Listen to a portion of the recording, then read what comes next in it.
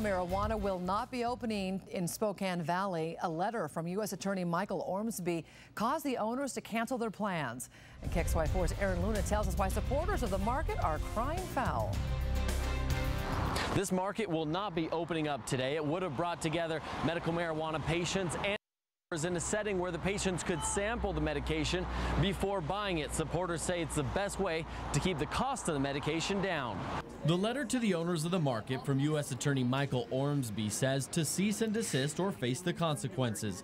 The market would have brought growers and patients together, just like they were selling fresh vegetables, except it would have been marijuana to card holding patients, patients like David Van Syke. They actually had to remove the back of my skull. So just laying in bed, laying on a pillow when I wake up, I'm in horrible pain. Van Syke uses marijuana for his pain. He says dispensaries drive up prices.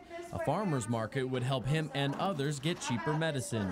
Instead of selling the, the grower selling to the dispensary and the dispensary selling to the patient and everybody marketing it up along the way, we can do one price. The market would have had a room for sampling and counter space for growers, something supporters say you can find in Western Washington, just not here.